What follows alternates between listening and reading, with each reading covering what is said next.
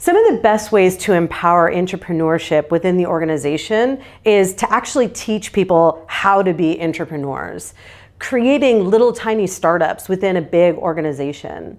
The thing about startups is we all sit around and talk about how startups are really smart and they're agile and that's all great and that's all true. But we're that as well. We've got incredible people that work within these walls. We have fantastic tools. We have an amazing brand and we've got incredible amounts of data.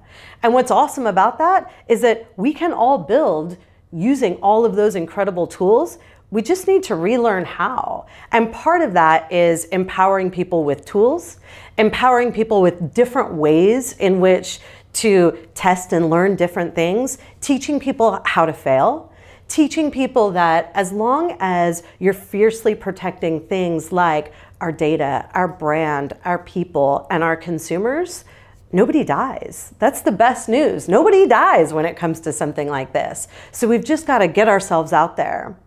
And most important, innovation is not about invention. I say this all the time. We're not looking to reinvent the wheel. We're looking to take things that already exist and just make them better. That's innovation. And that culture is something that I am really, really passionate about. And it's something that I spent a lot of time within these walls helping us to do.